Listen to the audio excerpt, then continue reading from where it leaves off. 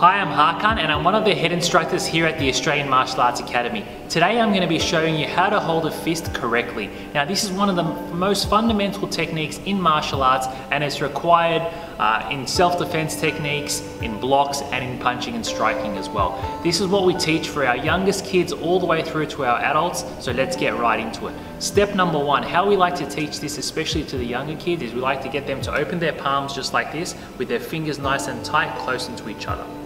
Now from here, we get to roll the four fingers that are in front back into our palms, keeping them nice and tight with as little space as possible. The thumb then rests over them, just like this. And then we pivot, and that's how we hold the fist correctly. Now from the side, from here, our fingers are out, we roll them in nice and close.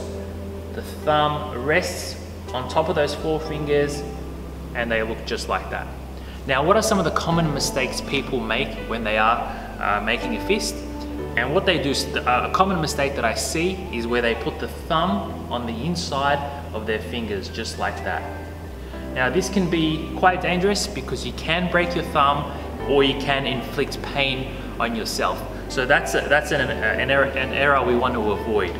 Another common mistake that I see is when people rest their thumb along the side. While this may not cause any pain, it's not the most effective and efficient way to hold a fist. Right here on the bottom is the natural way, feels comfortable, and it allows you to strike with the two knuckles in which, in which you want to do when you are throwing your punches.